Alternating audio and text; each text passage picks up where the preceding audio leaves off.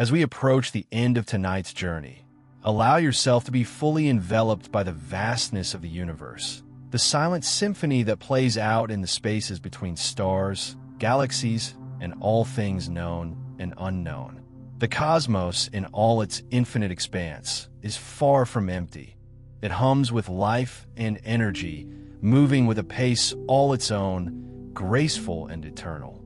Even in the most distant voids, where galaxies drift further away, there's a quiet motion that never ceases. A rhythm, a pulse. And in that silence, there is peace. We ventured across billions of years of cosmic history tonight, touched the very essence of time itself, and gazed upon the quiet, unseen forces that shape the universe.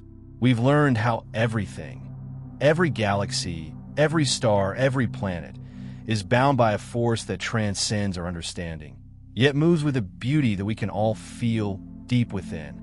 And though we cannot see it, we are all part of it. Every breath we take is a soft whisper in the eternal dance of the cosmos.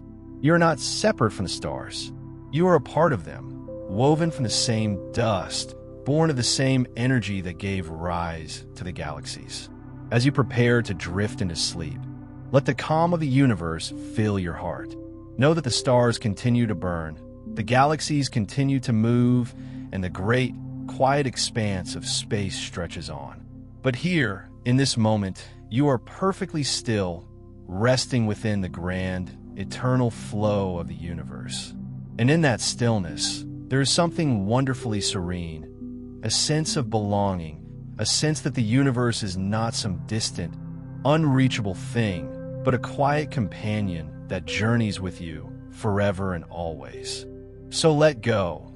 Let your mind be carried by the serene pulse of the cosmos and drift peacefully into your dreams, knowing that you, like the stars, are part of something beautiful, something eternal. Sweet dreams.